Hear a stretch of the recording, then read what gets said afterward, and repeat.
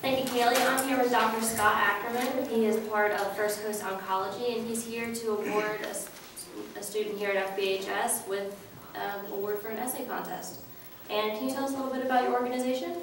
Sure, Katie. Uh, My name is Scot Ackerman, and I'm a physician or a radiation oncologist, and we have a practice uh, treating patients with cancer uh, with radiation.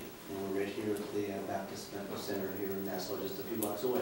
Okay, great. And I was curious, is this um, essay contest just open to 9th through 12th graders, or is it to anybody?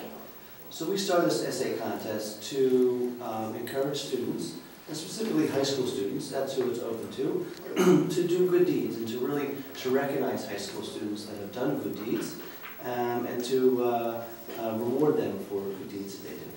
Excellent. And I guess we should get on to the main event, which is awarding somebody with one of the big prizes this year was a laptop. So here she is, right?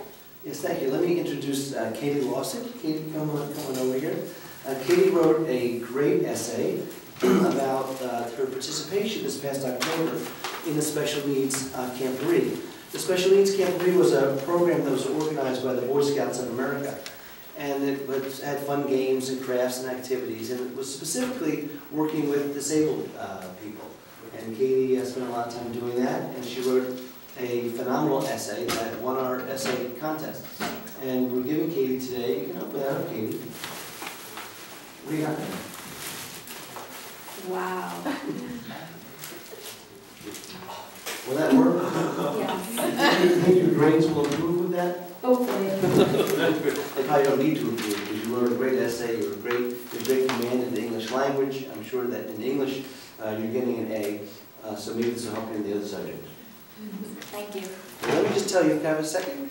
Uh, Katy wrote in her essay that her time spent at the Camporee, that by being there and watching the special needs people, made me think of how fortunate I am to have what I have. It really made me appreciate the small things in life and even life itself. I can't wait to go back and help out next year. The happiness I see on the faces is the only payment I'll ever need. Katy, you really are a wonderful young woman. You're going to go a long way in life. And we hope this uh, laptop helps you get there. Thank you. Thank you.